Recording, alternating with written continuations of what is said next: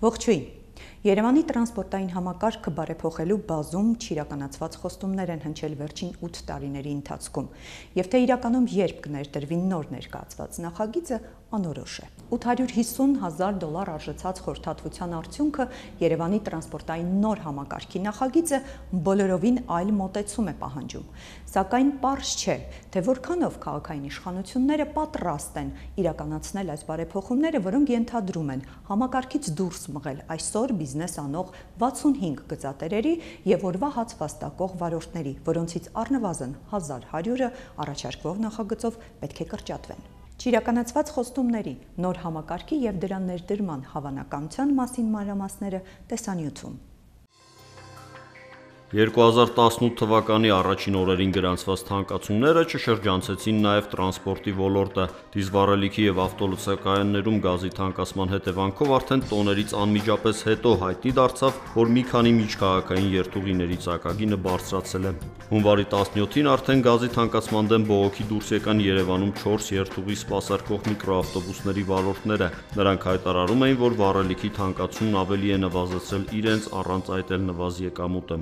Ես հիմա գամ ես ծառերի տակ մաքրեմ, ինձ 45 ազատերամ կտան։ Էլ խեմ ես հետո մեշություն անում։ Մեր գազը իջացնեն, թո յուղը իջացնեն, որ մենք կանանք աշխատենք։ Այս համապատկերին ել ավելի է ընդգծվում Երևանի տրանսպորտային ցանցի բարեփոխման հարցը, սակայն արդյոք գործող քաղաքային իշխանությունը բավարար կամք ունի շուտապույտ եւ որակյալ բարեփոխում անցկացնելու նախորդ տարիների փորձն ու ներկայիս ազդակներն այս հարցում հիմնավոր կասկած են ներշնչում հույս ունենք ամենաուշը 1 տարվա ընթացքում ունենալ նոր միջազգային չափորոշիչներին համապատասխան երթուղային ցանց, որը միանշանակ կդնենք հանրային քննարկման։ Սա Երևանի փոխքաղաքապետ տրանսպորտային բարեփոխումների գործընթացը համակարգող Վահե Նիկոյանի խոսքերն են արված դեռևս 2016-ի մայիսին։ Ըստ այս հայտարարության երևանցիներն արդեն 2017-ի մայիսից սկսած պետք է վայելեին նոր տրանսպորտային համակարգի տված բարիքները։ Հավանաբար արդեն մոռացած պետք է լինեին հնամաշ գազելներում կռացած երթ թեթևեկն ու ծխապատ միկրոավտոբուսների սրահները, սակայն այսօր 2018-ի սկզբին մարդիկ մոռացել են ավելի շուտ ոչ թե թշվառ տրանսպորտը, այլ բարեփոխումների մասին քաղաքի իշխանությունների խոստումները։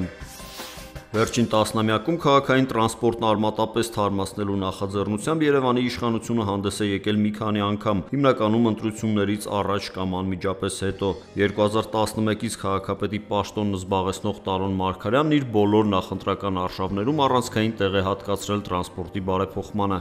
Հնարավորություն ենք տալու մեր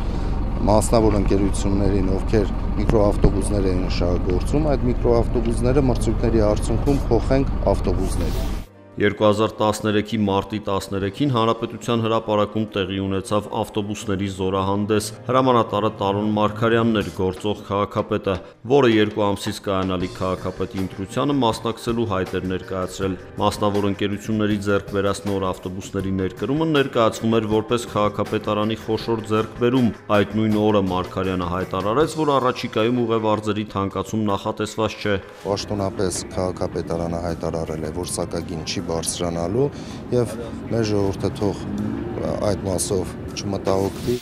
Սակայն 3 ամիս անց արդեն ընտրվելուց հետո նա դրժեց խոստումը փորձելով 50%-ով թանկացնել տրանսպորտը առանց որակի բարելավման, թե ինչպես ավարտվեց այդ փորձը Երևանցիները լավ են հիշում։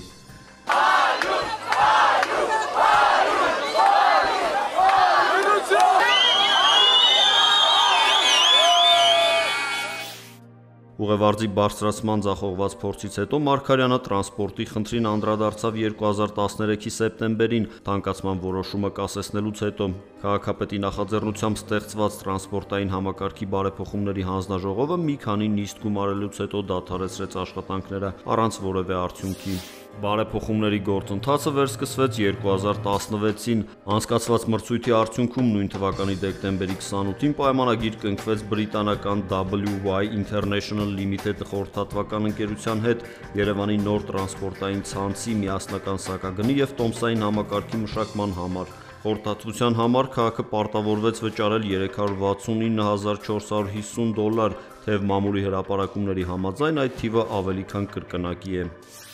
Մեր հարցմանն ի պատասխան քաղաքապետարանը տեղեկացնում է, որ բրիտանացի մասնագետներն այս ընթացքում առաջարկել են ներդնել միասնական սակագնային եւ տոմսային համակարգ։ Ուղևորափոխադրումները պետք է իրականացնեն միակցված մեծ միջին դասի ավտոբուսներ եւ տրոլեյբուսներ, միկրոավտոբուսները պետք է վերանան։ Նոր համակարգում վճարումները պետք է կատարվեն անկանխիկ էլեկտրոնային քարտերի միջոցով։ Տարբեր սոցիալական խմբերի համար սակագինը տարբեր կլինի, բայց ամեն դեպքում միջին սակագինը ներկայիս 100 դրամից ավելին է լինելու։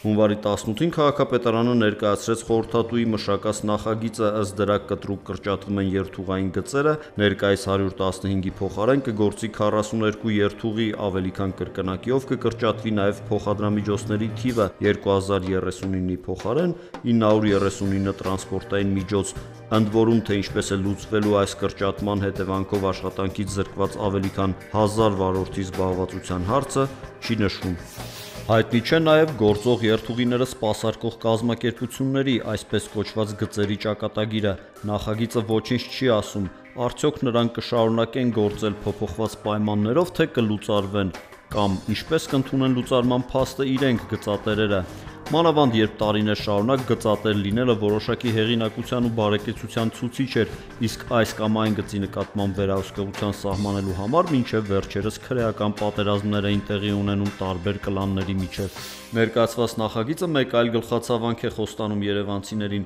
այն դեպքում, երբ գործող ցանցով ուղևորների 94%-ը մի կետից մյուսը հասնելու համար տրանսպորտ չի փոխում, նոր ցանցի դեպքում երթևեկողների 38%-ը տրանսպորտը կփոխի մեկ անգամ, 10%-ը երկու անգամ, 3%-ը երեք անգամ։